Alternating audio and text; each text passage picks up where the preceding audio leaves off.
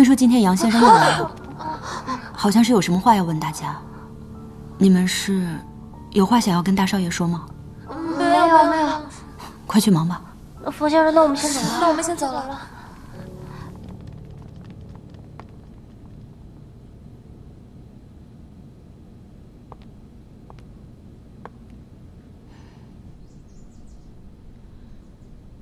加上，我不想打扰你，但是如果你需要有人说说话，我就在门口。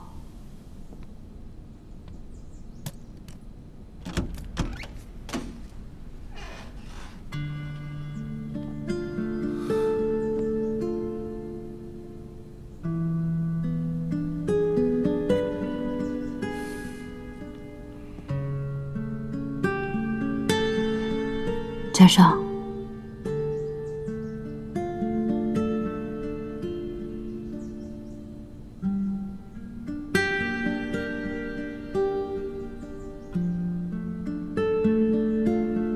你倒是没舍得把你那些模型都砸了。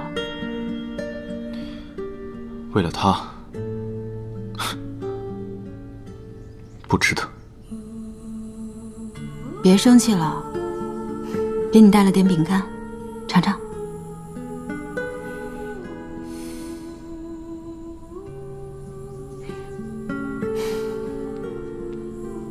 我之前看过一本医学杂志，上面说人在生气的时候吃一些甜食，会快速让情绪稳定下来的。头一次听到这种说法。尝一块。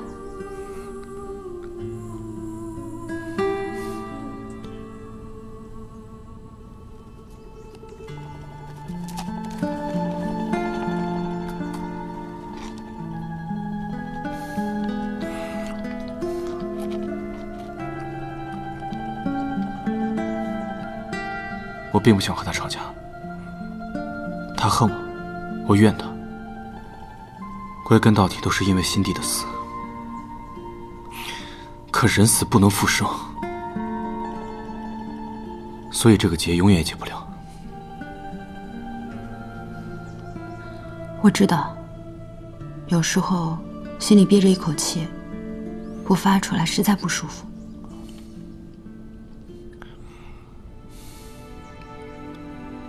先生也会和别人吵架？当然会了。我们家破产以后，没少受人欺负。我一个女人，带着又老又病的父母，稍微软弱一点，就会被这个世道欺负得连个渣子都不剩。只见过先生说大道理时候的样子，想不出你吵架是什么样。其实，谁都不愿意和别人起争执的。太太也挺不容易的，儿子没了，丈夫又对她很冷漠，她自己也很顾及痛苦的，但又不能像孙少卿那样一走了之。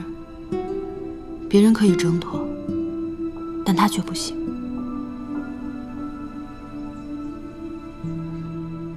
也挺可怜的。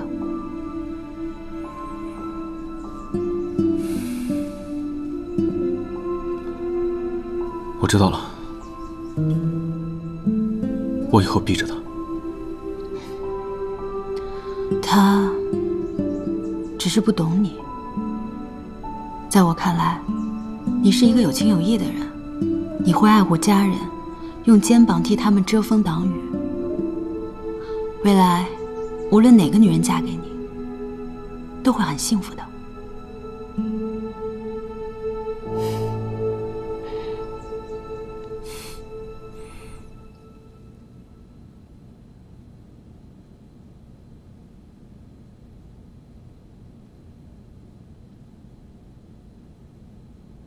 太太，大少爷的生日宴，您看。哎呦，你去跟老爷说，我身体不舒服，生病了，浑身痛的没办法思考，没有什么重要的事情，就不要来烦我了。可是老爷说，这是大少爷成年后第一次在上海亮相的生日，需要隆重举办。哎呦，哎呦，我头痛，不能说话，又要休息。哎呀，